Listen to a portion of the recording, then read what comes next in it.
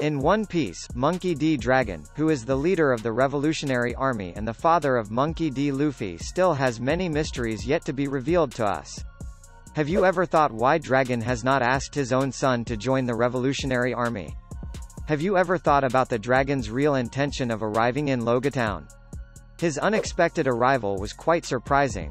He has saved Luffy from Smoker and when he was about to be executed by Buggy. So, what's the real purpose of him coming there? It's highly likely that he wanted to see his son, Luffy and make him a member of the Revolutionary Army. The Loguetown arc became one of the most significant arcs before One Piece entered the time skip. Zoro obtaining his swords, Dragon's appearance, Luffy encountering Smoker, Zoro encountering Tashigi, the girl who has a striking resemblance with Kuina, his childhood friend. Loguetown was even the place where Luffy got his first fan, Bartolomeo. The town is also the place for the execution of the Pirate King, Gold D. Roger. Then why didn't Dragon meet Luffy before?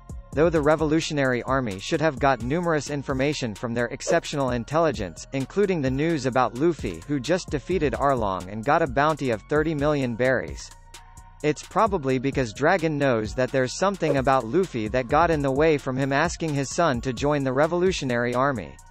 When he's about to be executed by Buggy, with a big smile on his face, Luffy calmly said, Sorry guys, looks like I'm going to die. This is one of the coolest moments in One Piece cause what Luffy says is similar to what Roger did at his execution.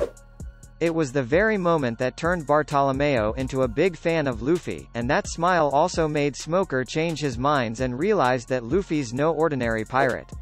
Apparently, Smoker noticed that Luffy's big smile upon his demise was similar to Roger's at his execution. Aside from the bystanders, Dragon also witnessed the moment before Luffy's about to be executed. Luffy was lucky enough to be saved by Dragon. But not only that, but Dragon was also lucky to be able to see the potential, determination, and Luffy's dream in just one moment.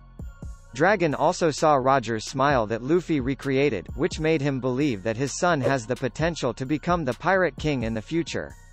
Roger once said, inherited will, the destiny of the age, and the dreams of its people will never die. As long as people continue to pursue the meaning of freedom, these things will never cease. Given Roger's words, Dragon became more convinced that Luffy is the man who has the potential to be the next Pirate King. That was a theory on why Dragon has no intention of asking his son, Luffy, to join the Revolutionary Army.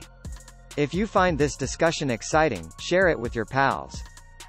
Ah!